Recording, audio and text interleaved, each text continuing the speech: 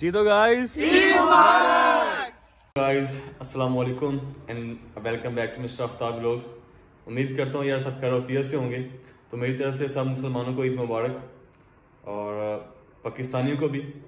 ठीक है स्पेशली क्योंकि जी सात बजे से जो है वो प्रैंक करना शुरू किया हुआ है और आखिरकार मौलवियों ने प्रैंक कर दिया पाकिस्तान में। अभी साढ़े ग्यारह बजे उन्होंने कहा जी पाकिस्तान में भी कल ईद होगी। तो इसलिए आपको भी ईद मुबारक। और अल्लाह पाक सबको ढेरों खुशियाँ ता फरमाए। हम तो फिर पाकिस्तान से बाहर, घर से बाहर ईद मना रहे हैं और आपको दिखाएँगे कि घर से बाहर ईद कैसे मनाई जाती है, कैसे लोग मनाते हैं। पिछली दो ईद, पिछली एक ईद जो है वो मेरी गुजरी थी किर्गिस्तान में, फिर पाकिस्तान में गया। इस दफ़ा जो है उज्बेकिस्तान में मेरी फ़र्स्ट ईद है आंदीजान स्टेट मेडिकल इंस्टीट्यूट के हॉस्टल में। तो आपको बताएँगे हमारा इसका एक्सपीरियंस कैसा रहा जी, ठीक है? ईद कैसे हम गुजार रहे हैं। और सुना है कि कल एक ग्रैंड डिनर भी हमें मिल रहा है, हमारे हॉस्टल की तरफ़ से। देखते हैं इसमें क्या क्या मिलता है। तो अभी जो है, वो दोस्त कपड़े वगैरह ऐसे कर रहे हैं। उसके बाद साढ़े पाँच बजे जी सुबह टाइम ही इन्होंने नमाज़ का टाइम रख दिया है। बहुत जल्दी। नमाज़ पढ़ेंगे, फिर सो जाएँगे, फिर उठेंगे नाश्ते के लिए या जो भी खाने वगैरह के लिए उठेंगे तो फिर सब कुछ आपको दिखाएँगे। जी तो गाइस गुड मॉर्निंग अभी पाँच बज के पंद्रह मिनट हो चुके हुए हैं तो मैं रेडी हो चुका हूँ। ऑलमोस्ट पाँच बज के तीस मिनट पे जमात है, नमाज़ है यहाँ पे हॉस्टल में, क्योंकि बाहर निकलने की इजाज़त नहीं है मस्जिद में जाके नमाज़ पढ़ने की। तो अभी हम जा रहे हैं जी नमाज़ के लिए, ठीक है जी, सब दोस्त रेडी हो रहे हैं। और उसके बाद देखते हैं कि फर्दर क्या प्लान है हमारा उसके बाद।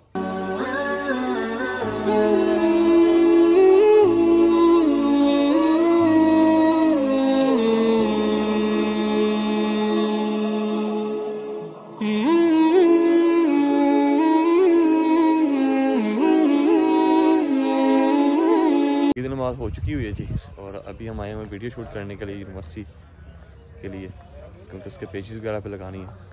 तो इसके बाद जी नाश्ते का सीन है। सुना हलवा पूरी बनी हुई है। नाश्ता करेंगे और फिर घर और घर कॉल करेंगे। घर कॉल करने के बाद फिर जी सो जाएँगे। और अगेन मेरी तरफ़ से सबको ईद मुबारक। आज ईद का दिन है। अल्लाह ताला हमारी जो भी इबादत की हुई है, उसको कबूल फरमाए और हमें नेक अमाल करने की तोफ़ी अता फरमाए। इन दुआओं को मास्क वगैरह पहना हुआ जी, क्योंकि मास्क पहन के वीडियो बनानी है। थोड़ा सा सोशल डिस्टेंस का भी ख्याल रखना है, क्योंकि आपको पता है आजकल पूरी दुनिया में कोरोना के केसेस बढ़ रहे हैं, लेकिन अल्हम्दुलिल्लाह उज़्बेकिस्तान में अभी तक कोरोना के केसेस का वो सीन नहीं है, क्योंकि यहाँ पे एक रीजन के लिहाज से डिवाइड किया गया और रीजन में रीजन दूसरे रीजन जाने के लिए आपको जो है वो कोरोना का टेस्ट करवाना पड़ता है और आप जो है वो टेस्ट के बगैर कहीं भी ट्रैवल नहीं कर सकते, हैं? ठीक है जी?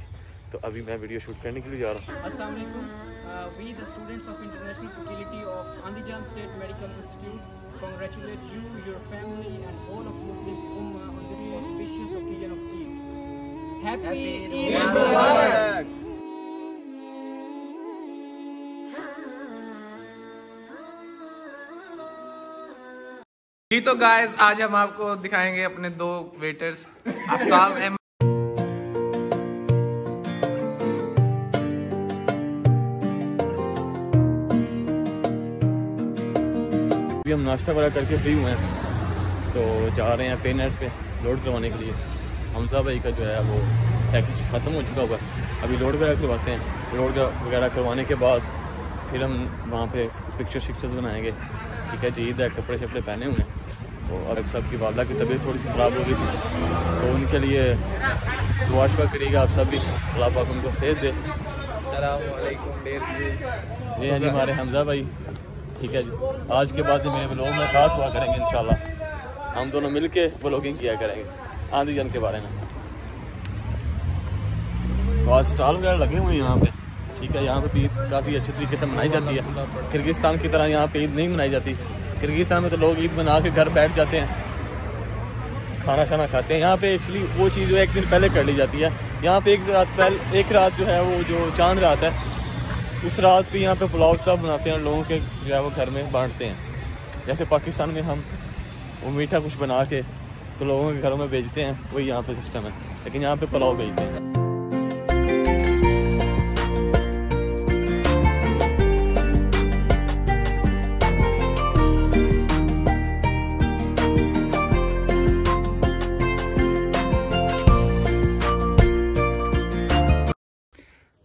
अभी फ़ोटो शूट वगैरह करवाया जी दोस्तों ने?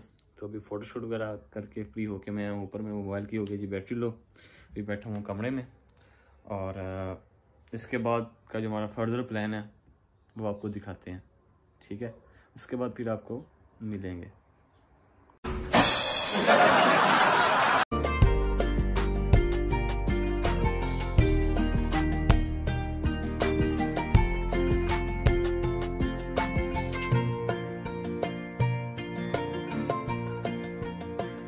अभी रेस्ट वगैरह करके तो फिर गए थे खाना खाने के लिए। जब खाना खाने के लिए गए तो फिर डीन का जब मैसेज आ गया कि मैं दो बजे हॉस्टल में आ रही हूँ और साथ वाइस सेक्टर आए हुए थे तो उसके बाद फिर हमने खाना वगैरह खाया, बिरयानी वगैरह बनी हुई थी और अभी जो है वो हम खीर खाने के लिए जा रहे हैं। हमारी रूममेट है, उन्होंने खीर बनाई है तो वो खाते हैं। इस तरह की आज की हमारी रूटीन चल रही है।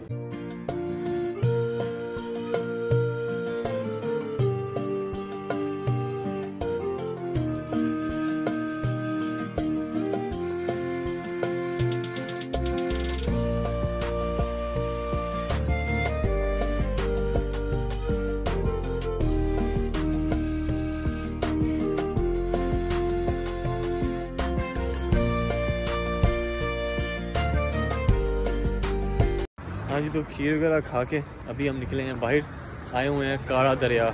और ये हमारे पीछे एक मेड सिटी है, यहाँ पे इन्होंने रिजॉर्ट बनाया हुआ है। वो घूमने के लिए आए हैं फ़िलहाल। हम फ़र्स्ट ऑफ़ ऑल तो जा रहे हैं जी, जो दरिया है काला दरिया, वो देखते हैं क्या सीन है उसका। और आपको भी दिखाते हैं।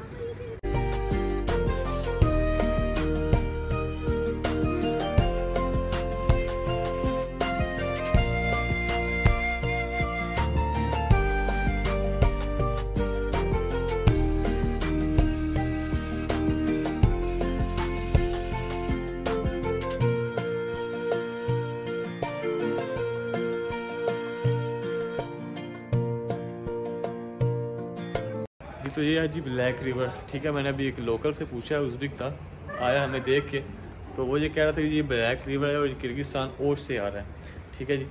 और कुछ हमने देखा भी, जो लग रहा था कि ये वाकई किर्गिस्तान से आ रहा है, कुछ पोर्टल थी ठीक है, जिसकी हमें नशा हम उनको निशानदेही कर रहे थे कि ये वाकई ही किर्गिस्तान से हैं। यहाँ पे अच्छा माहौल है, आप देख सकते हैं। अगर हम शाम को आते तो और मज़ीद अच्छा होता। अभी फ़िलहाल यहाँ पे धूप काफ़ी है, आज गर्मी भी है। तो अभी तो हम बैठे हुए हैं। इसके सामने बिल्कुल किर्गिस्तान के पहाड़ भी नज़र आ रहे हैं, जो किर्गिस्तान के छोटे छोटे गाँव हैं। ठीक है, वहाँ से लोग इधर आते जाते रहते हैं, दोस्ती पार्टी से या मादनियात से। मुझे अभी लोकल सब कुछ बता रहा था। मैंने उनसे पूछने की कोशिश की थी मज़ीद डिटेल लेकिन उसको भी जो है वो उसकी नहीं आ रही थी। फिर एक इंग्लिश वाला आया, उसने कुछ बताया हमें। किर्गिज में कारा दरिया कहते हैं। और सॉरी किर्गिज में नहीं, उज़्बिक में यार।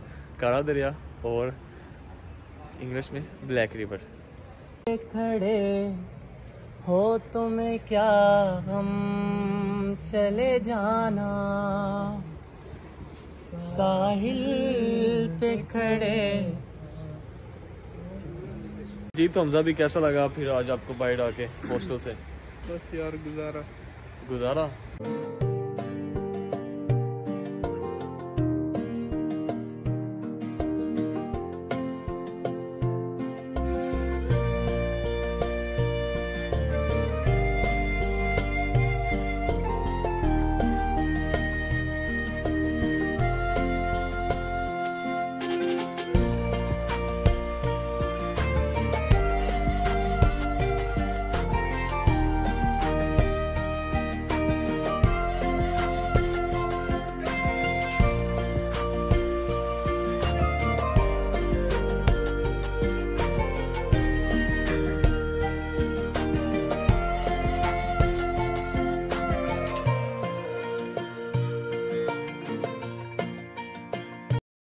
जी तो ये है जी मेड सिटी।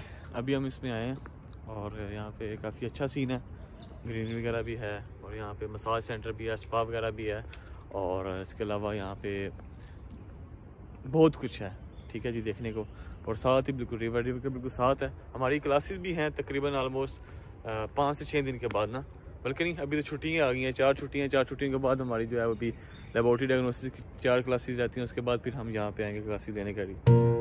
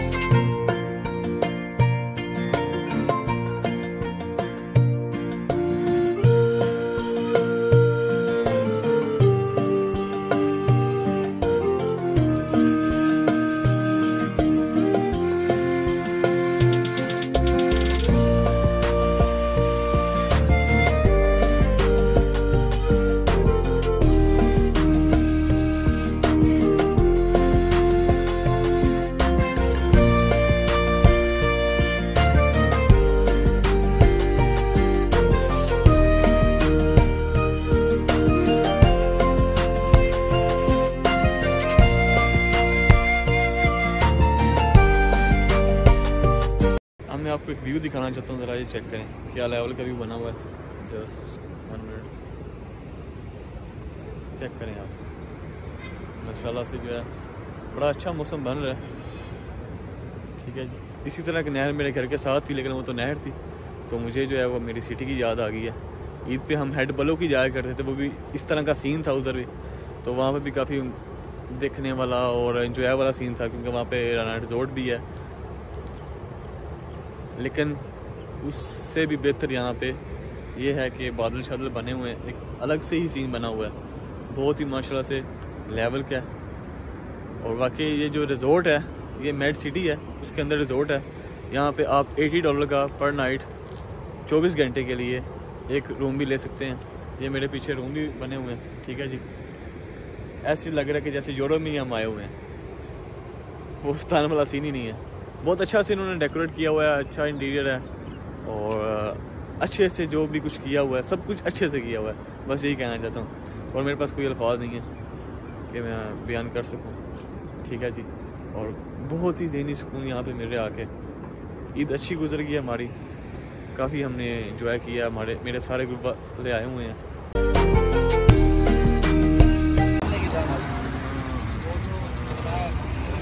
चल सीनियर सर्जन बैठ जा यार। हम तो हम आ गए जी वापस। अभी आए हैं फ्रांस कैफ़े पे। हमारे इंस्टीट्यूट के साथ ही है, बिल्कुल। तो वहाँ पे कुछ खाते पीते हैं भूख लगी हुई है। तो फ़र्स्ट टाइम मैं यहाँ पे आया हूँ। मुझे पहले काफ़ी बताया हमजा ने कि ये कैफ़े अच्छा है। तो आज ट्राई करते हैं क्या सीन है फिर यहाँ का।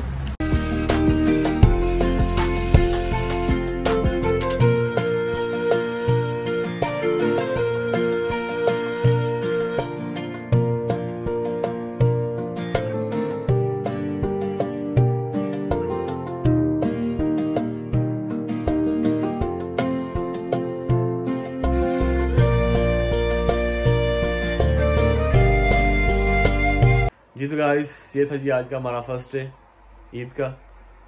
और माशा से बड़ा अच्छा गुजर गया। घर की भी याद आई, लेकिन क्या कर सकते थे? टाइम तो स्पेंड करना था। फिर हमने प्रोग्राम बनाया कि ग्रुप वाले सभी जो है, वो मिल के जाते हैं बाहर। वो ब्लैक रिवर गए खड़ा दरिया जो हमने आपको दिखाया। ठीक है जी। और अभी सोने की तैयारी है जी। नींद काफ़ी आ रही है। आप मेरी आँखों से ज़्यादा लगा सकते हैं। अभी सोते हैं, नींद पूरी करते हैं। उम्मीद है जी कि आपको वो लोग अच्छा लगा होगा और काफ़ी चीज़ें आपको देखने को मिली होंगी। तो नेक्स्ट ब्लॉग तक दीजिए हमें इजाज़त और मेरे चैनल के साथ जुड़े रहिए। और जिन्होंने अभी तक चैनल को सब्सक्राइब नहीं किया, वो अभी चैनल को सब्सक्राइब कर लें और बेल आइकन का बटन भी दबा दें ताकि आने वाली वीडियो आप तक पहुँच सके। God bless you take care and please remember me in your precious prayer